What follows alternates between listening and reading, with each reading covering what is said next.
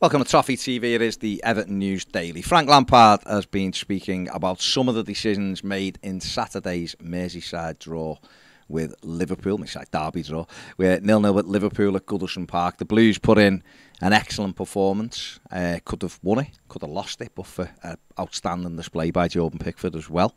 Um, but Everton and Evertonians felt they were on the harsher side of some of the VAR decisions that took place at the weekend. Uh, one of them was whether or not Virgil van Dijk should have received a red card for a late challenge on Amadou Onana with about 20 minutes to go in the game.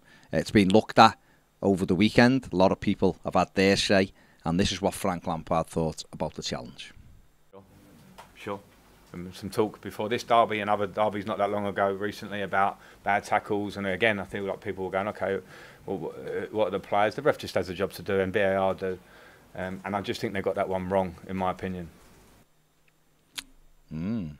Interesting one, isn't it? Because it's whether or not you can look at it and argue the case of was it just lazy by Van Dijk? Was it intentional? I guess that's the difficulty with it. But obviously, in isolation when you look at it, and certainly when you see the stills, it looks like a bad challenge on Onana. And we've seen other, you know, other instances where that kind of challenge has warranted a red card. So uh, that didn't, we didn't get away with that one. Um, we also had a goal disallowed. Conor Coady thought he'd give Everton the lead. Uh, we all thought it in the ground as well. Uh, it took a ridiculous amount of time to come to the decision that it wasn't a goal.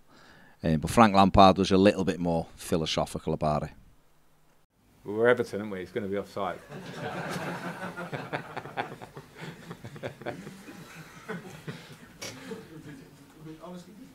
no, no. My, my instinct was it was going to be close. I didn't really celebrate because I felt, you know, those ones that flash across can be can go either way. Can't use hard. I didn't have the angle to see it, but just just by the nature of how he arrived on the goal line, I, I wondered whether he got there quick enough because it was fired across, wasn't it? So I presumed he was in a, a possible offside position. Let's be honest, it should have stood. Conor Coady should have scored the winner. There you go. Um, moving on from that, uh, obviously Everton saw Neal Maupay make his debut at the weekend. He had a fantastic opportunity to uh, to score on his debut to give Everton the lead. Other than that, I thought he had a decent game. Uh, certainly showed what it looks like when you've got a proper striker in the team. We certainly looked a lot better. And then obviously the attention then turns to when Dominic Calvert-Lewin is fit again. Uh, and this is what the manager had to say about Dom. Yeah, and Dominic's training next week. Uh, we hope uh, the middle of next week. So at that point, then we have good options up front as a number nine, a Dominic type and a Neal Maupay type. But obviously, Dominic is a big player for us here. I haven't been able to experience him as much as I would want but I experienced one of the best days of my life when he headed that ball in last year. So we understand what he can bring to the team. So once we hopefully get him fit and firing, and our, our forward options um, look stronger naturally because he's an England striker. Mm. So there you go, Dom. You know the manager obviously confirming that Dominic Calvert-Lewin is back in training this week. Whether or not he'll be fit enough to make the squad for Arsenal, don't know wait and see on that one. Hopefully he will. Just to have him on the bench, I think, it'd be a big boost as well. Just to have that option of bringing him on.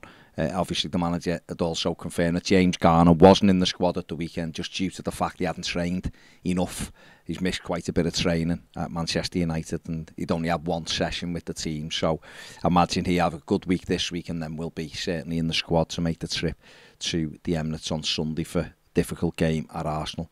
And Abdoulaye Doucouré as well is uh, back in full training, so expect him to uh, to be in the squad as well as Everton start to get a few more bodies back and, and to make it, the squad look even stronger. So there you go on that one. Uh, Dermot Gallagher has uh, tried his best to um, explain some of the decisions today when he does his, uh, his ref watch.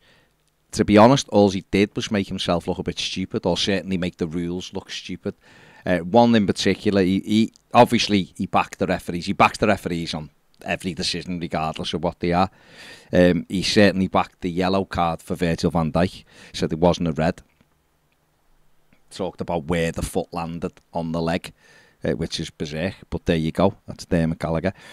Uh, why he wears all black as well, I don't know. Is he in mourning because he's not a ref anymore? I'm not sure.